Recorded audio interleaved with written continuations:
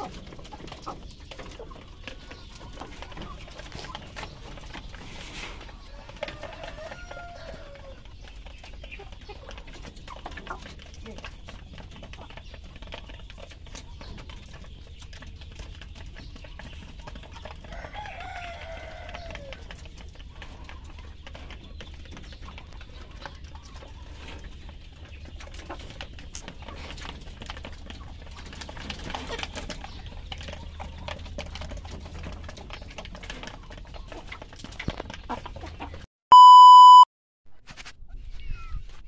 Hello guys.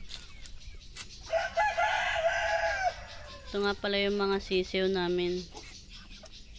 Ayan, malalaki na sila. Ito pala yung mga ginawa naming setup mga ka-farm.